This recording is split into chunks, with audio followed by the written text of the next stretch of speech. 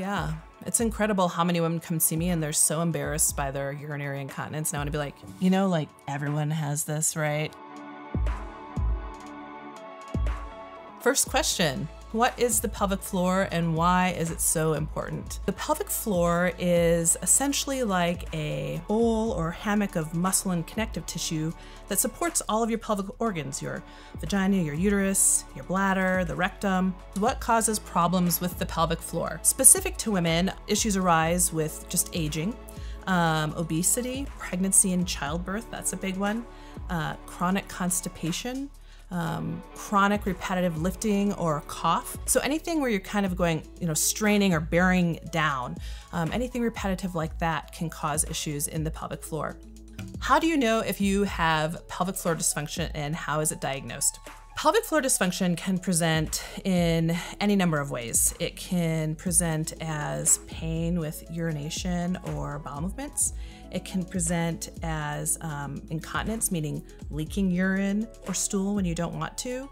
It can present as constipation or incomplete emptying when you're having a bowel movement and um, it can present as sexual pain. The way you are diagnosed is by seeing a physician who can do a physical exam and really um, thoroughly investigate that pelvic floor. How common is pelvic floor dysfunction? It really depends on the age group. When you're younger, perhaps 15 to 20 percent.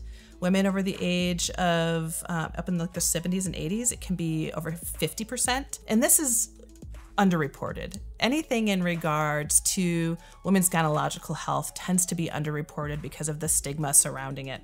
And so, again, these are somewhat conservative numbers, but the take home message is that a lot of women deal with this. What's the prognosis for pelvic floor dysfunction? So, the great news is that the prognosis is good. The two mainstays for treatment are biofeedback therapy um, and physical therapy both done by a physical therapist.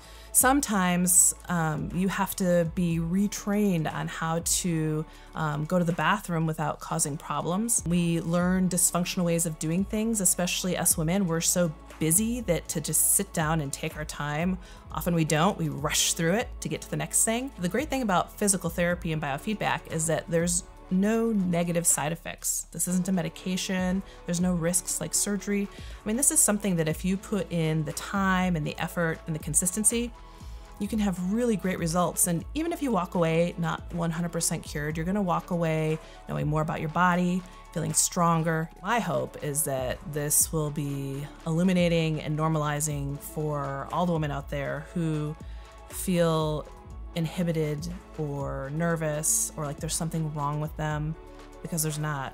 This is this is normal. This has been Off the Cuff with me, Sarah Hellmann. We'll see you next time.